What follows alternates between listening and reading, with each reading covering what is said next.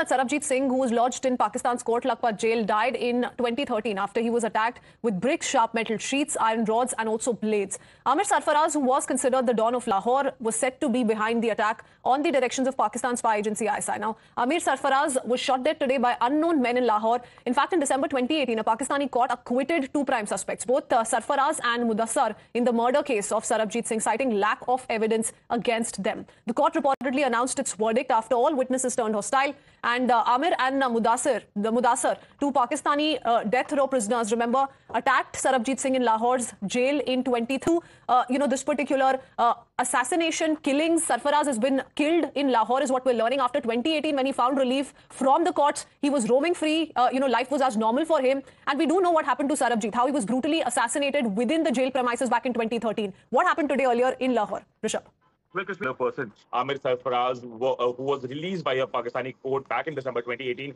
given that all the, uh, you know, all everyone who was supposed to uh, dispose in front of court uh, turned hostile. Now, what we're learning that an unknown assailant opened fire uh, on him in the Islampura area of Lahore, and he, after sustaining injuries, he succumbed to them uh, at the spot itself. So, yet another case coming in from Pakistan where an unknown entity, unknown man, has been named after killing someone who has an India connection. Remember, only last week, Guardian had filed a story where, uh, you know, citing sources within ISI, within the Pakistani uh, authorities and establishment, they had accused India of orchestrating these killings. India had very categorically said, no, not us. This is not our foreign policy. Yet another similar killing, yet another India connection remains to be seen how both India and Pakistan would respond to this. But yes, uh, uh, you know, a closure for family of Sarabjit Singh. Definitely remember, Sarabjit Singh served around 16 years in Kot jail. Mm. He was accused of spying for India. The family kept saying that this was uh. A case of mistaken identity, and he crossed over to Pakistan by mistake. Okay. But uh, you know, so one of the accused the uh, of his murder back in 2013, acquitted in 2018, has been killed in broad daylight today in Lahore.